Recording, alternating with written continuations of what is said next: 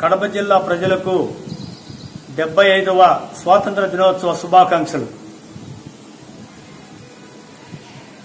భారతదేశంలో తెల్లోడి నిరంకుశత్వ పరిపాలన నుండి విముక్తి పొందిన ఈ రోజు ఘనమైన రోజు భారతీయుల పెద్ద పండగ రోజు ఈ స్వతంత్ర దినం.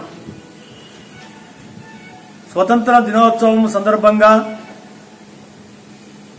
మనం అందరము కలిసి ఒక పెద్ద పండగలా జరుపుకోవాల్సిన దినము ఏదైతే అది ఆగస్టు పదహైదే.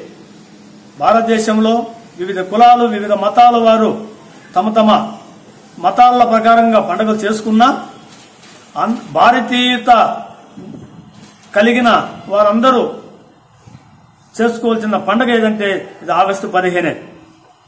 ఆగస్టు పదిహేను స్వతంత్ర దినోత్సవ శుభాకాంక్షలు అందరూ తెలుపుకుంటున్నా. ఇప్పటికీ ఎనభై శాతం మందికి స్వతంత్రం అంటే స్వతంత్ర దినం అంటే తెలియని పరిస్థితి ఏర్పడింది. స్వాతంత్రం అంటే తమకు తాము పరిపాలించుకుంటూ తమకు తాము అభివృద్ధి చేసుకునే పదమే స్వతంత్రం. కానీ ఈరోజు భారతదేశంలో కొంతమంది మాత్రమే ఈరోజు అభివృద్ధి అయినది. నూటికి డెబ్బై శాతం మంది ఈరోజు అభివృద్ధి ఫలాలకు వెనుకబడి ఉన్నారంటే కారకులు ఈ ప్రభుత్వ పాలకులే.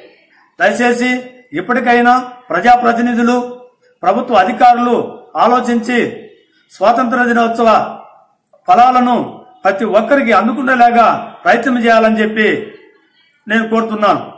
ఎందుకంటే ఈరోజు ప్రపంచ దేశాలలో స్వతంత్ర దినోత్సవం అంటే అన్ని పనులు ఎగ్గొట్టి వచ్చి ఘనంగా జరుపుకుంటున్నారు.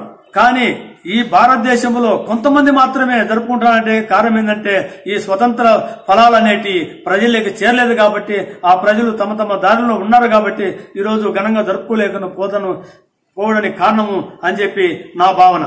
ఇప్పటికైనా రాబోయే డెబ్బై ఆరవ స్వతంత్ర దినోత్సవ సందర్భంగానైనా స్వతంత్ర ప్రతిఫలాలు అందరికి అందే విధంగా ప్రభుత్వ అధికారులు ప్రభుత్వ ప్రజాప్రతినిధులు దళిత సంఘ లీడర్లు సామాజిక సామాజిక లీడర్లు వివిధ రాజకీయ పార్టీ నాయకులు పాటుపడాలని చెప్పి కోరుతున్నాం.